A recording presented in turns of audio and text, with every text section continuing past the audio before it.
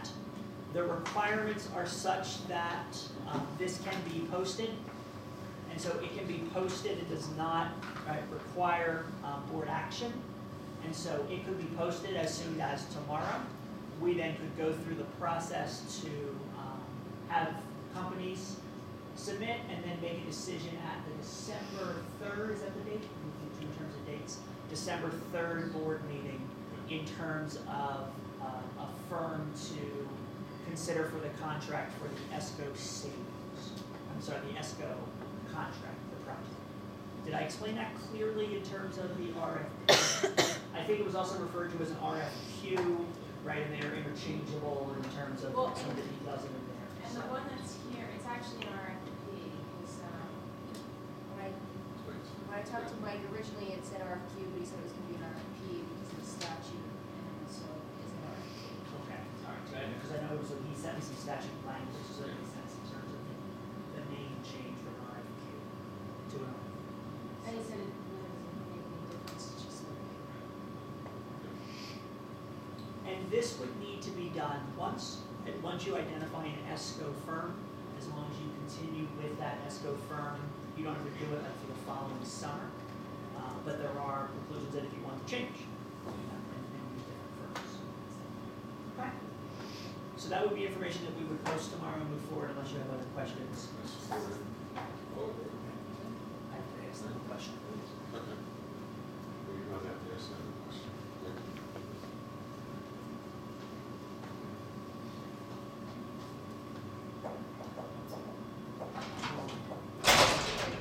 Hold on, I'm trying. You know how my, it's just up to All right, so, moving on to obsolete items, Mr. Dolbert, it's front to you, let's run through, we got a boatload of them.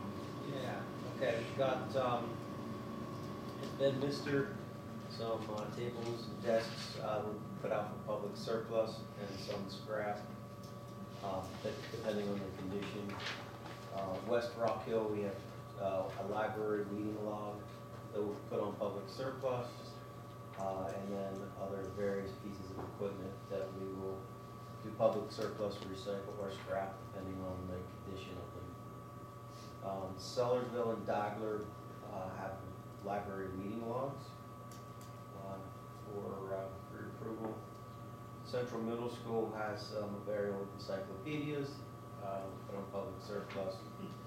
And then some uh, various equipment pieces, again, some of those recycling, some of them scrap. Uh, district-wide music instruments, uh, public surplus and scrap, some of them, they are, their value to re, uh, repair them is beyond the value of the actual instruments, so that's when we know it's time to move on. Um, district administration building, we have a table that's, uh, broken, uh, and needs to be scrapped. Uh, Technology department, we have uh, three recycling um, uh, lots for you. Uh, And then we also have flat screen monitors that we are going to put on public surplus.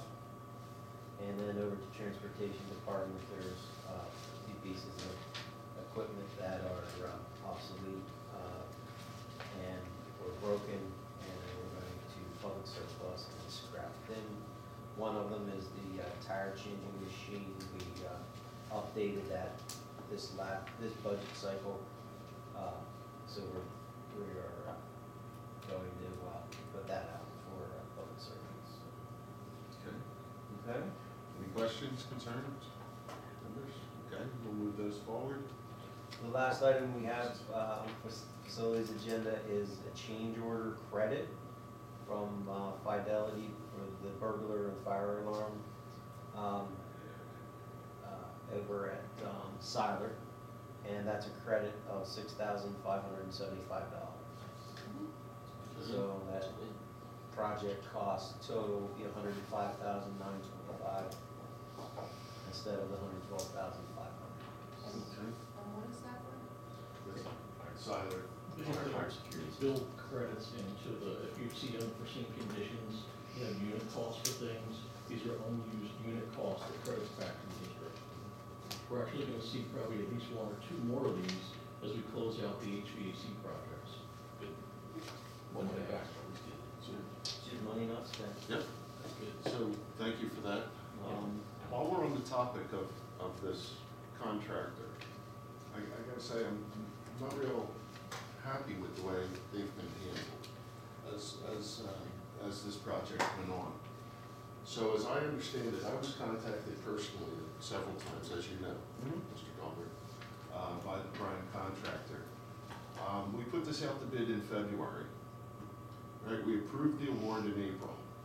This contractor did the work, installed the equipment, and had it inspected and certified by the township in August. It was online in August. They weren't paid a dime. Okay? At- the end of October, they were notified they were missing a W nine. Still weren't paid a dime from the time they put out all the money for the equipment, it did the install, did all the work. I don't understand how it was the end of October when we found out they were missing a W nine, when I'm told that they couldn't submit the bid package without a W nine. So the W nine had to be there by the bid deadline in February. Is this D'Huy playing games, or is this somebody else playing games? I can only tell you what I, you know, was part of that, so part of the process is payment applications are able to be submitted as you do work or as you acquire materials. My understanding, they never submitted a payment application until, I'm not sure the date, September or something. But that's D'Huy telling me that information, it's not first-hand information to me. I, I was told they didn't submit any application for payment until late in the game after the fact. Okay. And That that, whole W nine part, I'm gonna say maybe that's our fault that we didn't check everything. As I personally talked to people at Fidelity, said, let's get this done, get this to me so I can get paid. And once we got all that, we moved it through. I, I understand. I just, I- it seems to me that, you know, as, as I walked through this whole process, where we went through the bid process, there was a, there was another supplier that was recommended, and when we looked at the actual numbers, things were a little different. Sure. It, it, it, it just, it, it, it sets a, a bad taste in my mouth of how we've handled this prime contractor. And I don't know if it was us or D'Huy. And, uh, it's just, um, for, for somebody to call me personally and ask me, well, what's going on? Um, you know, they, they, they, they were out of, out money for a long time, you know, more than ninety days, um, so. I would say it was unusual. There was nothing came to, at least my level, to approve a payment. Uh, That is unusual. How are they gonna do the entire job, a hundred some thousand dollars, paying people, getting materials? It was unusual. So, well, hopefully this doesn't happen going forward now that we have a different uh, engineering firm. handling things. Thank you. Okay, so that gets us through the agenda, and the next meeting is scheduled for January seventh, One twenty twenty twenty, next year. next year. So. That's it. There is No no public comments, so comment. thank papá.